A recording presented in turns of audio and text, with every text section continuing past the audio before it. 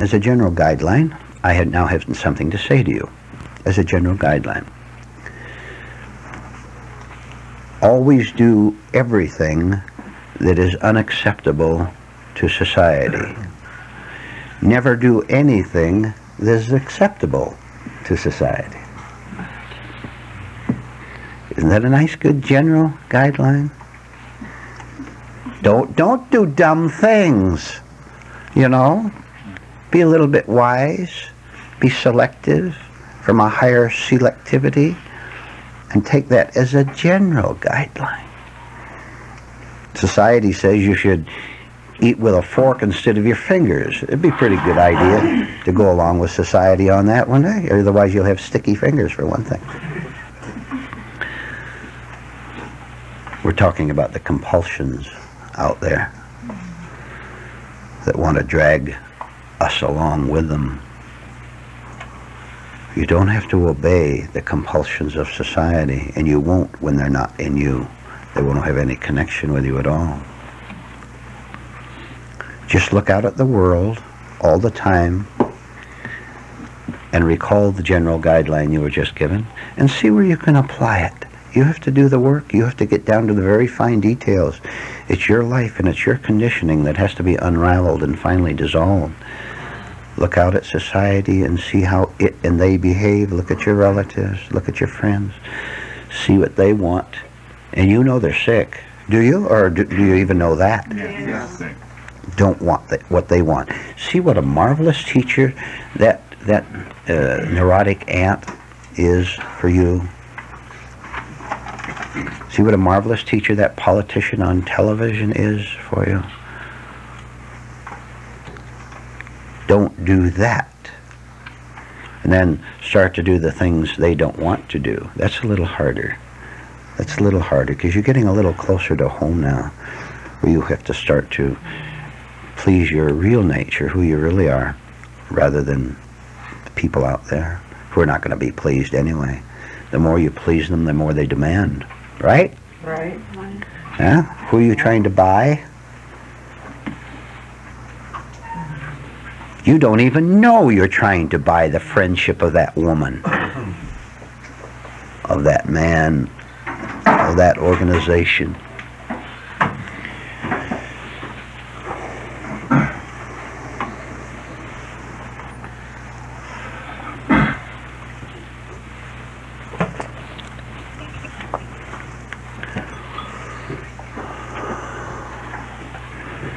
I want you to tell me something. Listen to this.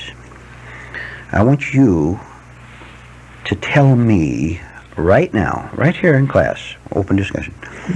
I want you to tell me how I can get through to you that you're a mental blabbermouth, if not a verbal blabbermouth, and how I can wake you up to that fact without you breaking down in tears or hatred. Please tell me. And I'll do it. Yes, Larry. Should we get Fred Brennan? Oh, is he out there? I think he is. No, there's nobody out there. Go see. Go see if there's any. No, there's. There's nobody out there. All right.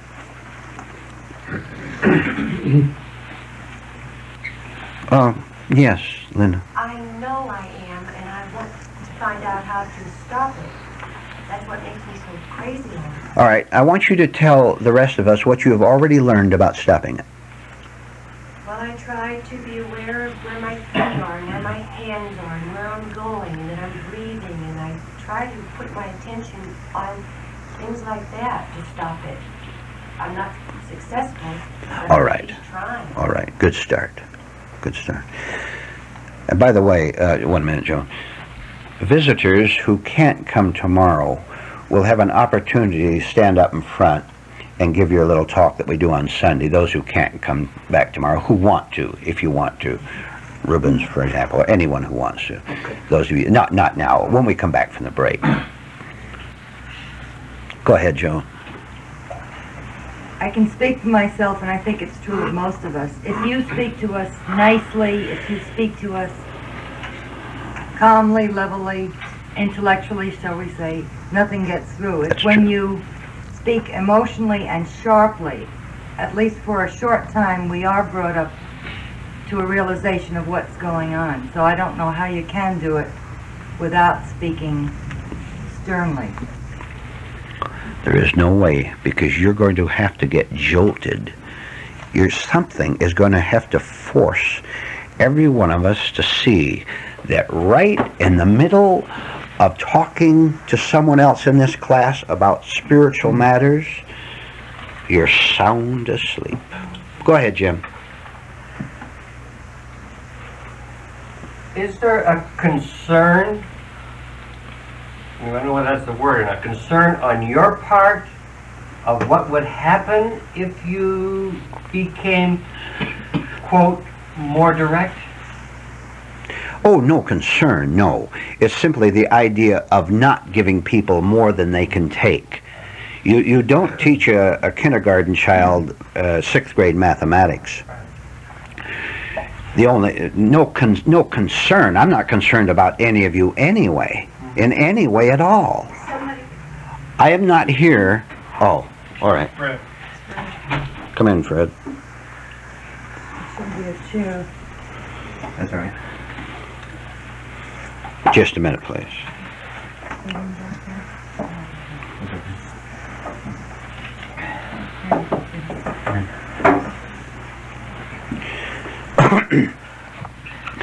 I am not here to get or keep a self image of being your teacher in the sense that I am smarter than you.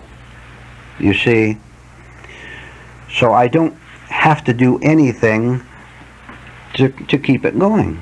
As a matter of fact, I've made an extra effort in the last, oh, three months or something like that to try to be just as disappointing a teacher as I can to you.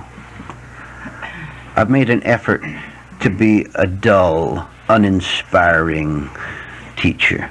Are you following that? Yes. I'm afraid. I'm afraid. I'm afraid you failed. I thought you were going to say the other. You know, I- the difficulty in coming up with something that you have asked us to do just now for the money, to, to, to because we just don't know where you know what to say in that respect because we're, we're trying to protect ourselves also and, and we're, there's a fear of if I say something then it's going to come If you say anything, you've lost it. I, I, I see some dull stares out there. What's going on? If you, if I say, sit here and be planless for the rest of the meeting, have no anticipations, that doesn't mean you're dumb. It means you're very alert. It means the opposite. You're very alert, but you're not trying to force anything because you're not caught in compulsive forces. So, but if you react, oh, how do I sit here and have a planless meeting myself? You're already thinking that the answer is on the intellectual level, and so you're searching around to find it. And so you'll go into a wrong move. For example, you'll go into a daydream about spotted Dalmatians, and and not and and then when you shift to another daydream in the uh, little spot between, you'll say, "Hey, I'm doing the lesson. I'm not thinking about the class at all." No, you're thinking about Dalmatians.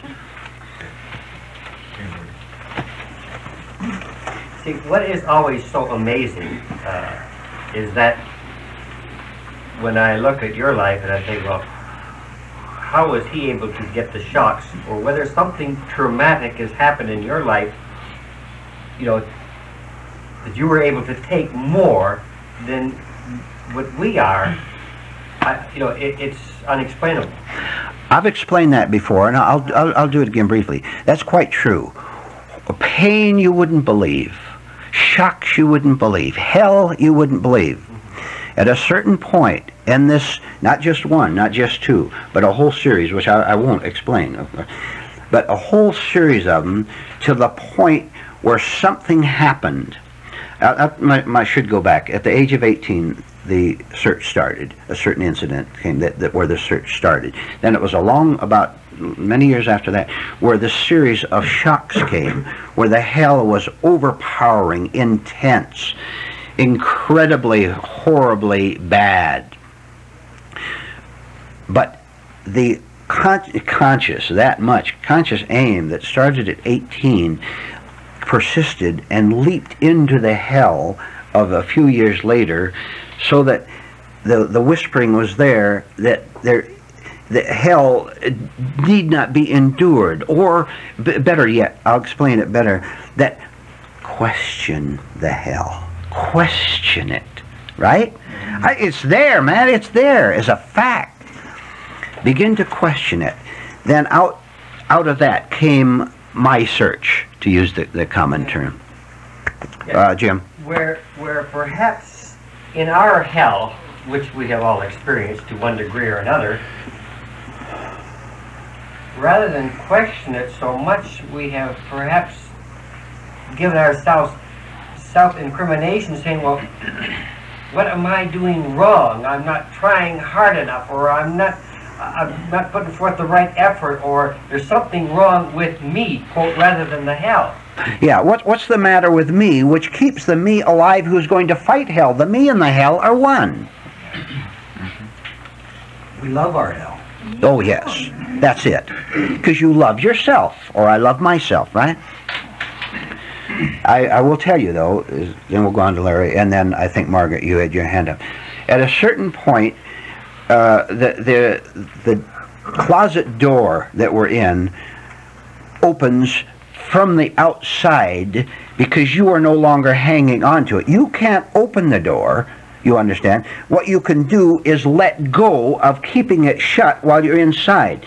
The minute you drop your grip on the dark closet door with you inside, when you drop your grip holding it, then the light outside pulls at it and pulls it out out and you'll see something that contrasts with the darkness of the closet you'll never be the same after that i tell you it's I, but you know there's a difference between what you saw and the darkness in the room there. All right uh, jim sorry.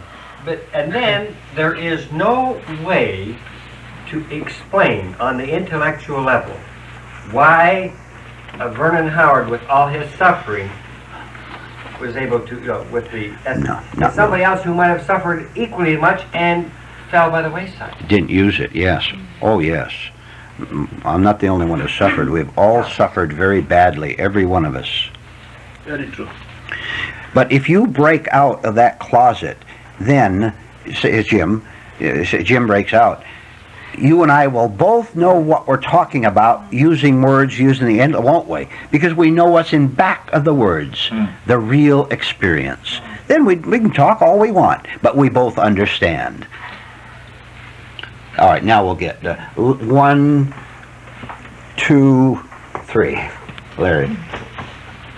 I feel very much that uh, we have all seen this hell because we see that we're living in it even Right. as of right now.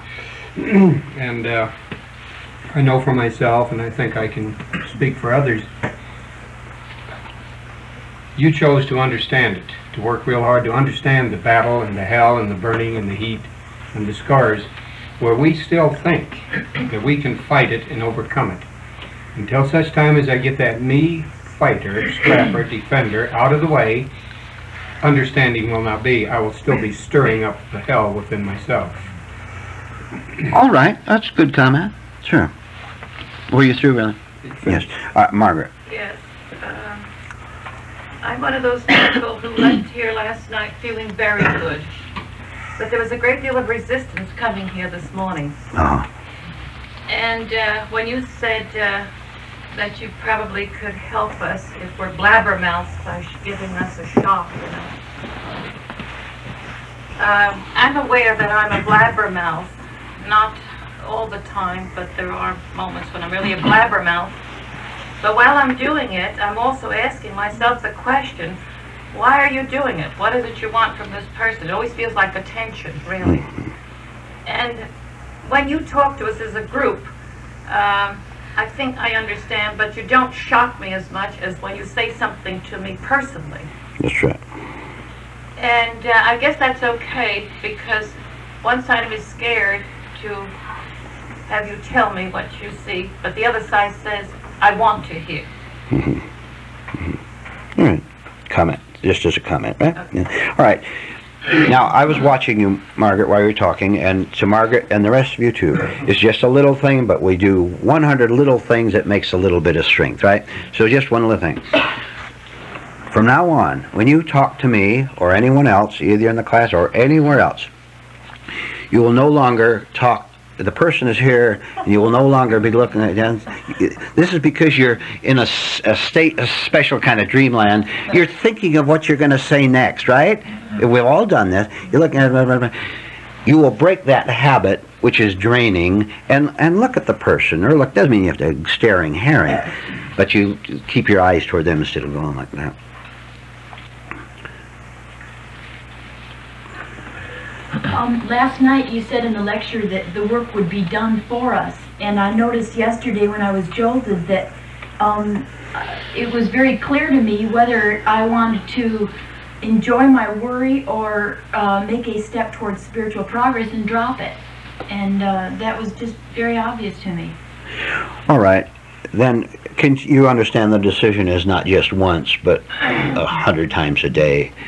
As the choice comes up between us, am I going to go into the intellect or am I going to drop the intellect and see the mm-hmm. answer that is not the compulsive one?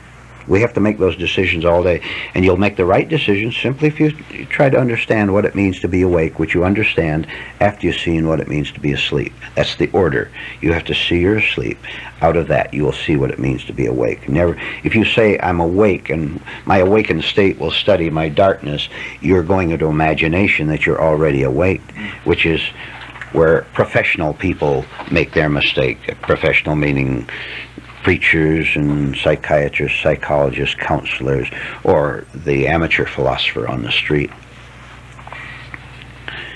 You ever, you ever notice how many of us are never without an answer for anything, no matter what's brought up?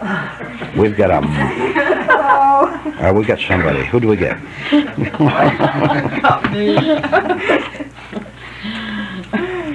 uh, Murray, please. relative to what you were saying and what Stella was saying, after you make so many choices, you personally, after you made so many choices to go with truth,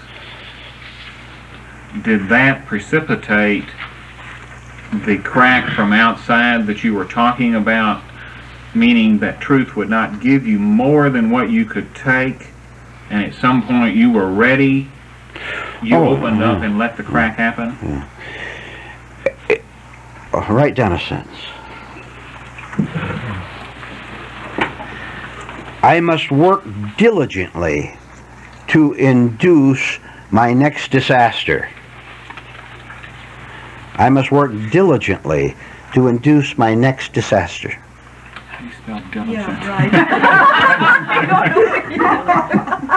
D I L I G E N T. You have to teach us spelling too. We will go geography next lesson. My next disaster. disaster. Look, it is your privilege to create tragedies in your life. Aren't you glad? Huh? It should be the greatest. You you know what I'm getting. I, we're smiling, and that's fine. All that. It should be the greatest pleasure of your life to get yourself in trouble 20 times a day. Some of you are saying, without that, I'm already getting into 30. I get myself in trouble all the time. I love it. Yeah. You really hit home with me today, and I'm just shaking because I found out that I always try to keep myself very busy, and now I. I know. Now, do I just make myself not do that? Is that the truth? Yeah. Uh, let us repeat a familiar line. Nothing bad can happen to Linda as a result of slowing down and having nothing to do. What you are having to do is driving you crazy, isn't it? Yeah. Isn't it? Look, is- look how the simple the logic is. What you're doing now is keeping you frantic. It's keeping you nervous. It's keeping you scared. And you always have to keep the next little distraction ahead of you. Notice when one begins to run out, the little nervous little mind starts to work for the, the next one. Party's over, so you're going to watch TV. TV's over, so you're going to go to bed and dream. Go to dreamland. You get up in the morning, well, I'll turn the news, the radio on, and keep that blatting during breakfast or something like that.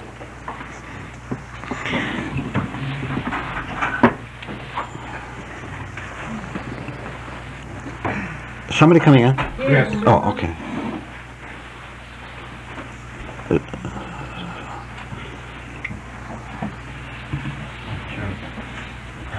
Keith, you're often late. Will you try to be here on time so it doesn't disturb the meeting? Quite often late. Try to get here. If it's impossible, then that's fine. We understand. But make an effort, if possible, to be here in time before the meeting. All right. Listen to this and see if you can you see if you can grasp it a little bit. First of all, will you agree that you don't know what to do with yourself? Come on, you is no. I'm not talking about going to the office. You're forced to do that. You agree you don't know what to do with yourself, Right. with your life? Okay. All right. Now, more good news, Margaret. Now, be careful with the word now, but I'll use it. God knows what to do with your life. Now, isn't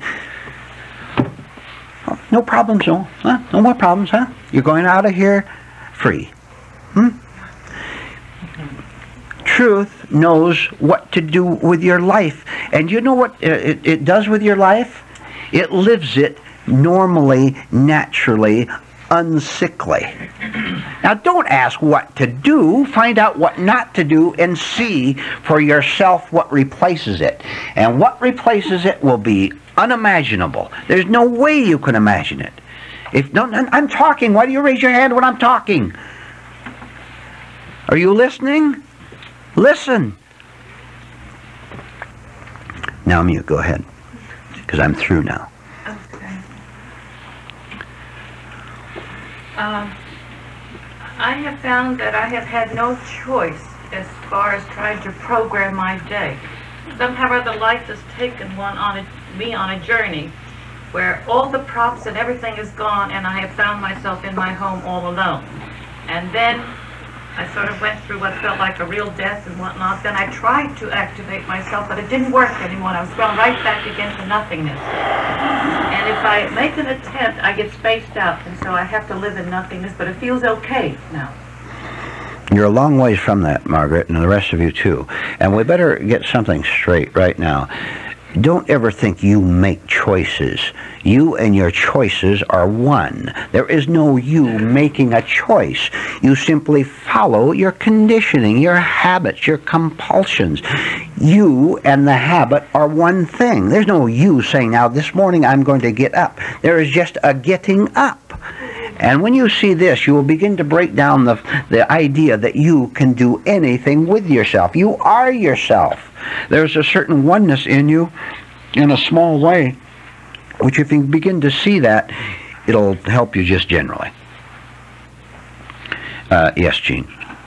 Our deep sleep is like a thick veil around us. It's just invisible, which is why we can't hear. All right. And how can you get through to us by gently poking the veil? You have to really slice through it. Right, right. Yeah, we we have to hit your feelings. And there are endless varieties in the way to do this. Some of you who have never been yelled at here, for example, I've been treating you in a way that'll hurt your feelings. Now, what are you going to do with the fact that I very quietly hurt your feelings? Huh? You would prefer to be screamed at, wouldn't you? Now there's a visible, there's a man there. At least I can see him and maybe yell back at him or something. But but it's this subtle little lessons that bother us because you don't have anyone to attack or anyone to talk to or anyone to cry to. Who am I going to hit? There's nobody to hit. That's why I stay out of the way. One, two. I want to get back to what you're talking about of creating your own hell. Here, I'm being taught a new way to think, which at some point I gather a little strength as I go, and I learn how to use the the situation that's there all the time that I have never used before, Okay. and then I'm asking this as a question. Yes. Then I can go on and take on a bigger situation that I could never use before. Is that correct? Is Well, you're yes. I just said that. You've only got uh, uh, small little fires of hell conscious in your mind. The idea of blabbermouthery or getting your feelings hurt in some way. We're trying to build an awareness of larger hells. Uh, you, you've got to suffer a thousand times more than you do which simply means to see it, to use it. Yes, we go from we're, we're not going from one light to another. It, it is that way, but we're going from one pain to a larger pain because we can only take very little small ones at the start. Uh, one, two, three. reference to what you said a minute ago, I can see very clearly where over the years I have argued that you were too strong and that I have a good intellect and that if you just set me down and explain things to me, I would understand. Now, I know that's a lie. I know that's a lie. And how do I know it? Is because nothing got through my thick head with all your talk after talk after talk. Polite talks. Yeah, doesn't work, does it? Pleasant, no, sir, it doesn't. But I do know that when I go very deeply asleep and you, quote, rattle my timbers, unquote, that then there's a lesson in it for me. So all I can say at this time is I've got to drop away the thinking hmm. that I'm getting something, accept the jolt, be it, and see it. And maybe, the, eh, yes, not maybe, but, and thereby learn something from these lessons. Well said. is the me that uh, thinks it's controlling its life uh, formed out of the pain and then that's the part of me that's separate as a buffer against going back to the pain? Yes, the, the thought, the I, the pain, all that is one thing. And it's based primarily on the intellect, but it does spread to the emotions. Did we answer it or not? Yes. No. Right. Now, this self, when I'm self-observing myself during the day, say I'm noticing myself doing something that I know, well, this, no. Say I'm seeing myself doing something. Am I observing myself? No, let's see. I, I see that I'm going to a movie. I see that I'm going to a movie in a panic. All right? And I see that if I went home, I'd be panic also. Is that self-observation? All right. When you're sitting in the movie and the um, cavalry is charging to rescue the fort from the Indians, when you're doing that, you're in thought. Therefore, you don't know that you're distracting yourself. It's you're one with the with the what's going on on the screen there. What you should do, and do it in front of your television set, is suddenly, and this would be a good habit, break yourself away from it and see yourself sitting and watching television. That's the best I can answer the question, which was not too clear to begin with. Shall we both try again? Uh, will this self-observation produce, will it change my actions during the day? Of course it will, because you'll be able to see wrong actions, compulsive actions. You'll be see where Rod is carried away by things that are bad for Rod. It's the seeing of them that is the same as the dropping of them. You'll never do anything against your real nature once you see what you have been doing against yourself. Please remember that. I've, I've, you've had so much trouble with this. The careful, close, honest seeing of self-destructive behavior, the seeing is the light. That, but you, you you think that just looking, uh, catching a pain is seeing it. Suffering it, suffering alone from it is not seeing it. Just plain suffering is not seeing it. There has to be a part of you that's standing aside just for a minute. You drop your eyes away from the movie screen up there and you and you suddenly become aware of how lonely you are. You went to that movie, you thought it'd be good and exciting, it turned out to be duller than you thought. And then you all right and driving down to that movie, you pictured in your imagination, because you're lonely, you pictured a pretty girl standing out in front of the movie house, and she stands, she gets the ticket at the booth there out in front just before you, and she's very pretty, and, and just as she turns away, she drops her wallet, and you rush up and you pick it up for her, and, and she smiles nicely, and she, you little sneaky coward, you won't even speak to a woman first. And so she says, I hope it's an interesting movie, and now you're terrified. This is your imagination going. Wait till the real thing happens. And, and so you picture yourself having a little more courage than you have in reality. So I say, here's your wallet. Well, I hope it is too. Are you going to the movie? she just bought a ticket. You say you're going to the movie? Uh, so you walk in together and you're both a little shy. But then your imagination goes and out you go and afterward it's dinner and the bedroom. Right? Huh? How come you men are grinning so? All this is very destructive behavior. Drop it. Lorraine. Part of us says, lay it on us. We want the lessons. And then the other part says, but not that hard. Yeah, right, right. right. Jim. On that sentence you said like, God knows what to do with my life. But the problem comes in is that of my images of what this should be like. What this should. Oh, yes, of course. That's why you can't imagine heaven. If you imagine heaven, it'll be a very shaky hell. And you'll wonder where all the angels are. So you call the devils angels. That's right. Any revival meeting or a hundred thousand people calling uh, angel uh, devils angels because they see them as angels because of the distortion in their own mind. We'll take a couple more, then have a break. Rod, please. Um, if you see what you are doing, you will never do anything against your real nature. Correct. Truth can't harm itself. Wouldn't that, isn't that a ridiculous thought that truth can harm itself?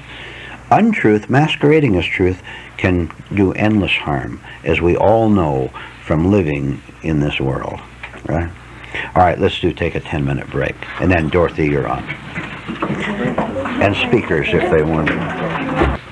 Last night, I was uh, deeply impressed by what uh, one person in this group said concerning that uh, he had problem with only one person in his life, and I am I've been in the same boat. I I've been in the hell of revenge, and probably still I am. But through soul work, I've been I think that I've been able to survive and to deal with this uh, situation. This, I hit this guy twice, but I never was satisfied with that. I, I, after I hit him, that's, that, that, guy, that guy, he was passive. However, I never thought that I did a good job, and I wanted to hit him again and again. It's an endless uh, uh, uh, mental agony, I would call that. But uh, thanks to the work, soul work, uh, by reading the book of Mr. Howard, I've been able uh, to control myself and to uh, react effectively. I mean, I've been doing the best, the best I can. Uh, still, I do not think that I am free of revenge desire because still a revenge desire persists in me. But I believe that the way out is soul work, and that's uh, because I have I, I have to work on myself, and as well as in other area of life because I don't think uh, there is any other way out except self-work, self-observation, self-insight, self-control. If Mr. Howard had to say something about that, something that I might uh, keep in mind, uh, uh, I would say that would be uh, helpful. At the same time, of course, uh, the evaluation of this teaching is the most important thing. Then the application of this teaching, that's the hardest. That's the hardest, the application Yes. of this teaching. Because sometimes we know, I believe, I've been reading the book of Mr. Howard for about 10 years. I have all his book. I, I have, I believe I have about 65 tapes. And I learn. I, I, I read uh, his book every day. I listen the tape every day. However, when a situation arises suddenly, my goodness, how hard is to apply, you know, Yes. what we know into a certain situation. That's the problem. And then, and then when we fail, when we fail, we, uh, uh, we are regretful. You know, my goodness, why I did that? Why didn't apply so many principles? I have a book of principles from the uh, highlight from the book. I've been, I've been taking highlight. I have a different system for work. A, a card, I have a, a certain card uh, with principle, and I would say, well, I am going, in this situation, I am going to apply this principle. But when the situation arises, I can, well, sometimes I can, but most of the time, I can apply, you know, that principle to that situation. However, the principle is workable. But the problem is not in the principle. The problem is in me, which I fail to apply the principle at the right time. And after that, I feel guilty. Guilty of what? Guilty of not being able to apply what I have learned. Therefore, that's my great battle. You know, since I wake in the morning until I go to bed at night, you know, I try to keep myself, uh, my attention, you know, uh, firmly. And when daydreaming appear, I try to stop them. Well, I have certain methods for work on that in order to be able to be awake. Because most of the time, I have realized that when I try to apply a principle, it's because I've been daydreaming. And therefore, when I, I am more conscious of myself, more conscious of other people, I am able to apply the work more effectively in every situation. And that doesn't mean that I do that all the time, because in fact, I am not conscious all the time. You know, I am striving, you know, against uh, the unconscious forces, you know, of our memory, which at the same time create negative imagination, which I believe is that what make us afraid. Therefore, in striving for to be more and more conscious of me and of other people, I have found that I am able also to apply more effect effectively what I have learned over here. Bring it to a conclusion. Yes. Conclusion that this the, that uh, what Mr. Howard teach work, and that we have to make more effort in order to apply what we have learned. That's my conclusion. Oh, excuse me. Here it comes. I fully agree that Mr. Howard has become most unsociable and very unpleasant to his nice little students.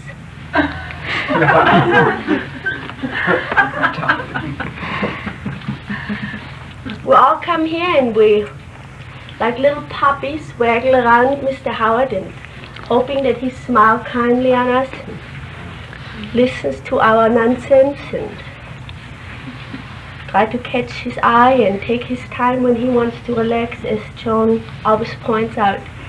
But we just think it doesn't apply to us. We have the right.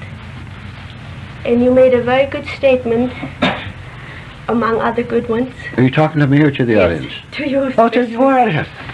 Um, that we are stealing from you, which I examined in myself, and indeed I found that my main motive directed to your attention was that I wanted something. But when I was examining to see what I wanted, I couldn't really say what I wanted in simple words.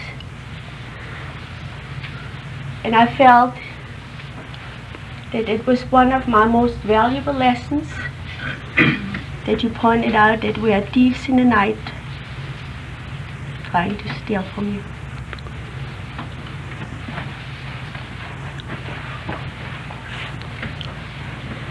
You're not able to come on Sunday, Margaret? No, I cannot. Fine, you're on now.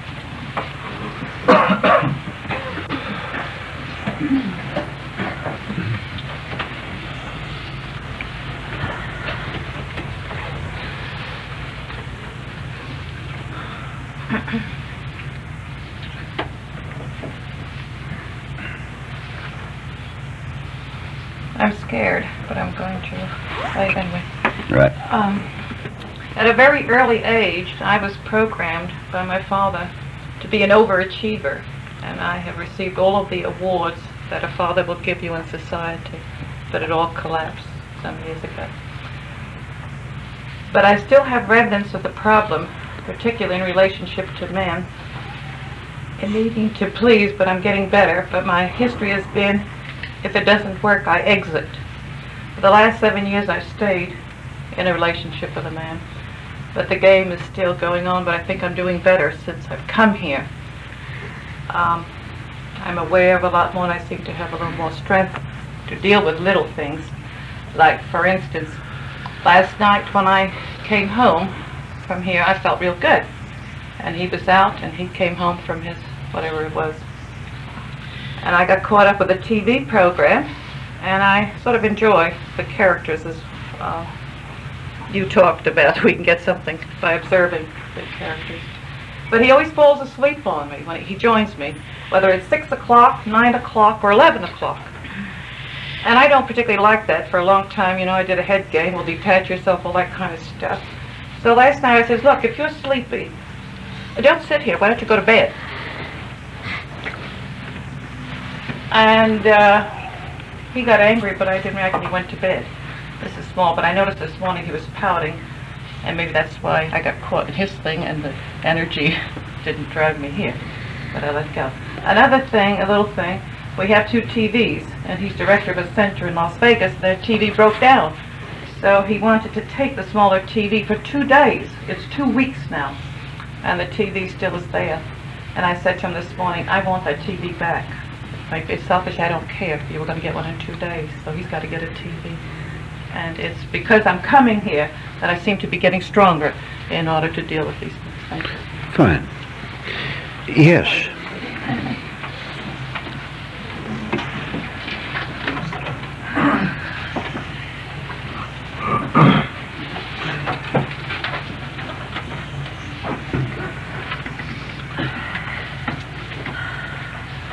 I'm going to talk about observation. So I'm sitting there watching uh, the, you come up here and talk. I was wondering to myself, are they aware of what they're seeing? Why are they telling every one of you what their problem is? What do you have to care? Everybody has their own problems.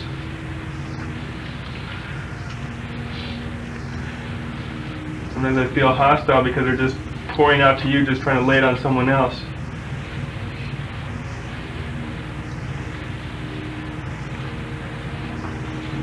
Felt myself pulling for him, trying to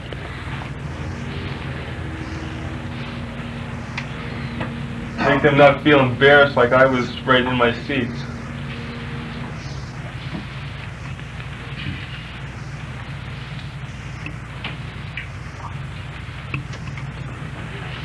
Is there anyone else who wants, yes, you can invite questions if you want, you know.